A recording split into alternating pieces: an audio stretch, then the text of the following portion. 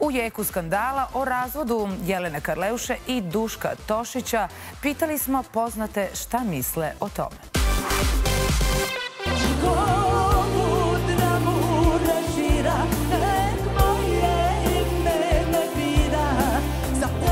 Pevačica Jelena Karleuša na svom Instagram nalogu nedavno je obelodanila da se razvodi od supruga Duška Tošića posle 14 godina braka. Ove vesti su šokirale javnost, a Jelenine koleginice otkrivaju šta misle o krahu braka ovog poznatog para. Estradu ova vest nije nimalo iznenadila, ističući da se o njihovom razvodu piše mesecima unazad, a pevačicine koleginice kažu da Jelena Karleuša ima pravo na svoj izbor i poželeli su joj sreću. Pa ništa, niti su prvi, niti su poslednji. Znači, bolje i ako nešto ne valja, ne ide, mada nešto ja stalno čitam, rastali se nisu, tako da ne verujem baš puno, znam da se oni vole i znam da, ali sada ako je to istina i ako treba da bude, pa bože moj šta da radimo, evo i, pa svi smo se rastali, je? Pošto treba da objavi novi album posle mnogo godina, da li je ovo možda dobra reklama pred projekat koji se dugo spremao? Ne, treba njoj takva reklama, ona je sama po sebi to što jeste, tako da njoj takva vrsta reklame mislim da ne ide u prilog, ali, bože moj, opet, kao što sam rekla i prošli put, mnogo što šta ljudi rade, ali opet kažem, Jeleni to ne treba i mislim da ne radi to zbog toga. Pevačica Zorica Bronsli kaže da ne vidi ništa loše u tome što su se odlučili za razvod, jer kako kaže i sama se udavala tri puta. A vidite, ne komentarišem uopšte, žena ima svoj život, ima pravo, ja sam se udavala tri put, što ne bi i ona treći put se udala? Molim lepo. Znači dva puta pa sad treći put. Neka život. Tako je, tako je. Znam da sam lepa, nisam slepa, takvu me majka rodila. Ili ih ne zanima šta se dešava u životu Karleuše, ili stvarno ne prate medije. Pa je bilo i onih poput Marine Tadić koji ovu vest nikako nisu ispratili u medijima, iako se o tome danima pisalo i piše o ovome. Se. Pa dobro što mislim, bože ljudi, svak, mislim, svako ima pravo na svoj život. Prosto uh, ne mislim da sad to treba, ne znam, komentarisati, niti se naslađivati, niti, mislim, prosto, kako ti kažem, ljudi se vole, pa se više ne vole, prosto mogu zajedno, ne mogu zajedno, ima dosta problema, nema problema.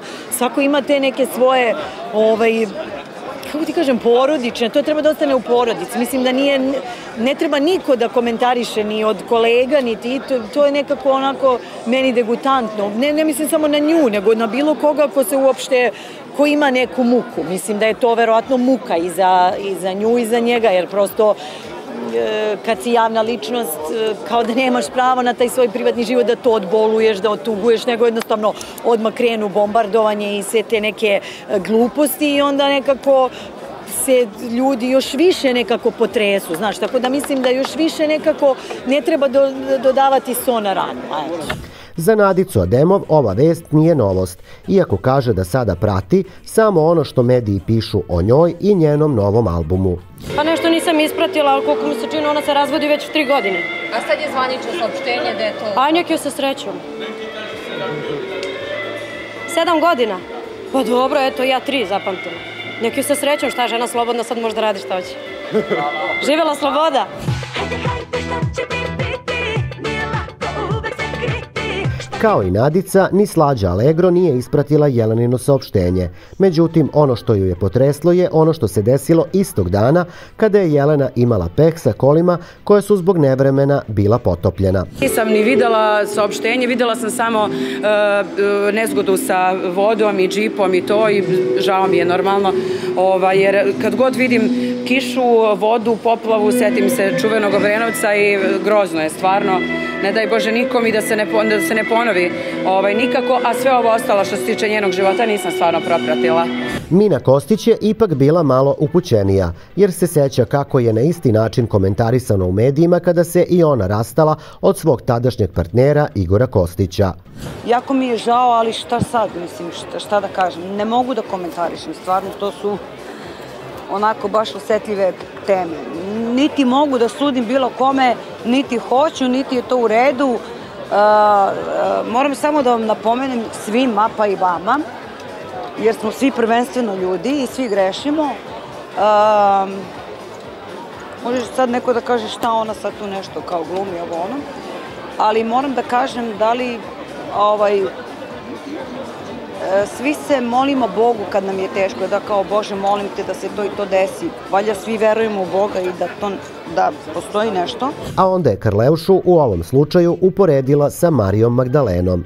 A ima ona scena kada kada dođe ovaj, ona grešnica da, ga, da mu celiva noge i da mu ljubi noge i kad si, jao, kao, strašno, ona je ovakva, ona je ovakva, najgora, a kad Isus samo, kad je ono nešto pisao, u stvari ima i ta scena i ova, e, ali, ali ajde neka bace i ostavi kamen ako nisu grešni, niko nije smeo. Prema tome, zašto jedni drugima da sudimo u bilo čemu?